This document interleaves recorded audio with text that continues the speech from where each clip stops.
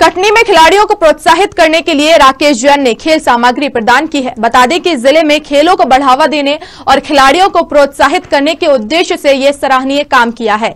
जानकारी के मुताबिक खिलाड़ियों को खेल के लिए पर्याप्त सुविधा नहीं मिलने से कई परेशानियों का सामना करना पड़ रहा था।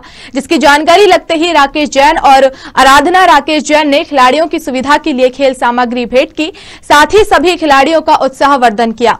आपको बता दें कि सांगली चौधरी कबड्डी की नेशनल खिलाड़ी हैं। वहीं खेल सामग्री मिलने पर सभी खिलाड़ियों के चेहरे पर खुशी की लहर दिखाई दी।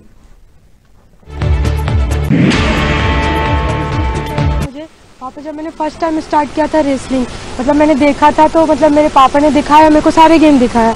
पर मैंने तो हमारे कोच साहब बैठे हुए थे वहाँ पर, वो वज़न और नाम लिख रहे थे सारे बच्चों का। तो मैंने भी जाकर के वहाँ वज़न दिया और फिर उसके बाद गेम खेलना स्टार्ट किया। तो फिर वहाँ पर मैं जीती तो फिर मैं जबलपुर गई थी। तो हालाँकि मैं जबलपुर में हार गई थी पर फिर उसके बाद मैंने यहाँ पे मतलब प्रैक्टिस करना स्टार्ट कर दिया था। फिर इन्होंने 2016 में दंगल भी कराया था। राकेश जन राकेश जन मतलब कक्का जी ने दंगल भी कराया था। तो वहाँ पे भी मैं जीती थी। उन्होंने बहुत सारा मतलब मेरे को बहुत ज़्यादा वो किया था। क्या है कि हम हमारे ग्राउंड है फॉरेस्ट प्ले ग्राउंड वहाँ हम लोग घूमने जाते थे। तो वर्तमान में खिलाड़ियों का वो ज़ोर चल रहा है। कबड्डी कुश्ती हॉकी क्रिकेट के खेल हो रहे हैं।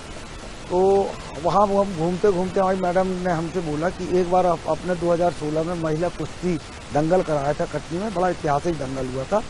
उसमें ये सांगली लड़की ये नेशनल खेली है।